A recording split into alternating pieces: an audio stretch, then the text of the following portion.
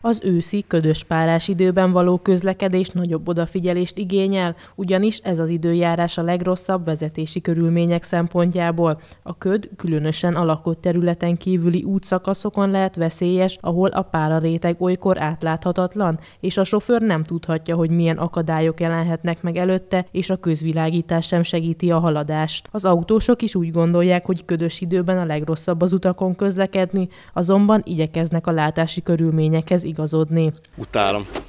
Gyűlölöm. Nem érdekel az eső, nem érdekel a hó, de ködben gyűlölök vezetni. Nem lehet haladni.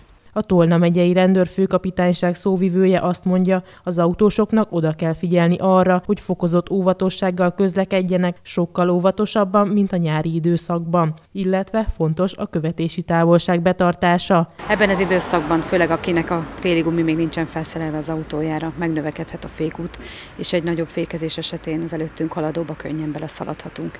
Ennek eredménye volt a hétvégén az, hogy a történt közlekedési balesetek nagy százaléka a követési vezetési távolság nem tartása miatt következett be. A párás ködös időben, amennyiben az autó ködlámpával felszerelt, mindenképp használjuk azt, ugyanis ez segít, hogy jobban lássunk az utakon, és minket is könnyebben láthatnak a velünk szemben közlekedők, mondja a szóvivő. Fontos továbbá az őszi-téli átállás idején, főleg a ködös időjárásban, hogy a sebességünket megfelelő módon válasszuk meg. Attól függetlenül, hogy egy adott útszakaszra 90 vagy 50 vagy 70 km per órás megengedett sebesség engedi a közlekedést, ennek ellenére úgy közlekedjünk olyan sebességgel, amivel meg tudunk állni egy esetleges hirtelen veszélyhelyzet esetén.